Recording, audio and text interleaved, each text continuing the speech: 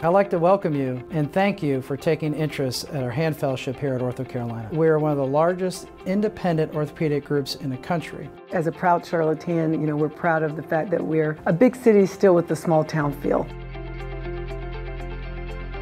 There's a lot of things that make this program unique, and one is our sole focus on fellowship education. And so we devote our time with our fellows just to giving a real fellow first experience. I think one of the greatest strengths of our program is the breadth and diversity of care that we provide for the entire upper extremity.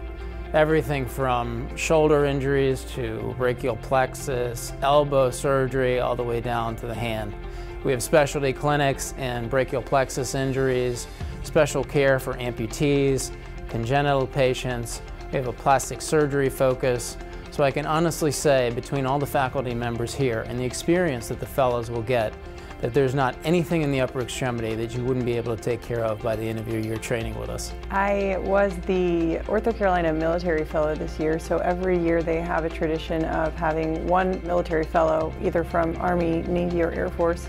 We are family here, and you get that when you get to come and go to Dr. Gaston's house and meet all the faculty. We do monthly logic sessions with Dr. Gaston and Dr. Lewis and these sessions teach you to understand hand and wrist kinematics and pathology in a way that you've never experienced before. I learned more about the hand and wrist in that three hour session than I had in any of my previous training for years prior.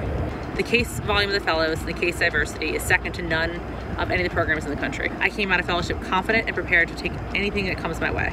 You learn to think in a way that you never had before. There are a lot of things that make our hand and upper extremity fellowship unique. The relationships that are formed and the camaraderie that exists, not just between the fellows, but also between the fellows and the mentors. We really do work well together. We're all colleagues, we're all friends, we interact outside of work, and that shows throughout the year. We do have a very fun and unique group of staff members and it's from that that we really try to drive the fellowship to be a work hard, play hard uh, avenue. Once every other month, I try to take the fellows uh, out to dinner. The atmosphere here is very team oriented. The attitude is work hard, play hard, and we all enjoyed our time with each other and also with the faculty here. My clinical practice includes the depth of hand surgery, but also plastic and reconstructive surgery, orthoplastic approach to soft tissue reconstruction. My goal is to provide each and every fellow with adequate inadequacies in microsurgical reconstruction, both of the upper and lower extremity. I loved my year with OrthoCarolina. I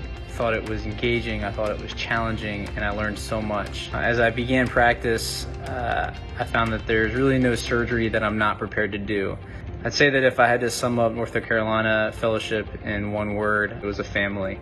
It's more than just learning how to operate and do hand surgery. It's about becoming a triple threat surgeon where uh, the teaching aspect and the research aspect and the surgical skills and decision making are all wrapped up into one year of immersive education. Our curriculum includes many lessons, some of which are in the operating rooms, others in the clinics. What I am most proud of is also what we teach in terms of cohesiveness of our team and how you can rely on each other throughout the good times and the bad times. The nice thing about my practice and the month that you'll spend with me is kind of a good blend of what a real kind of generalist hand surgeon practice would look like. I think it gives you a good flavor. Some months you'll do more shoulder with Dr. Loeffler. Other months you'll do more flap surgeries like with Dr. Garcia. For myself, when you're with me out in the community, you'll see a lot of arthritis cases, as well as doing your complex fractures and trauma work. There are really no shortage of cases or patients for you to see during the year. When you leave here, you feel comfortable taking care of the complex to simple hand problems. So during these times, we know residents and fellows have been quite anxious about the future, particularly the level of training that they may have. Through this entire process, we have not missed a beat. We've had virtual educational conferences. We've continued with surgeries and continue to do so, and we expect to do so in the future. If you're the type of fellow that's looking for a program that's got a team-based feel, your education is individualized for you and a program that really focuses on your education and doesn't need you just for labor, then this is the right program for you. So I'm really proud of the program that we've created over these last seven years. And again, we look forward to meeting you virtually.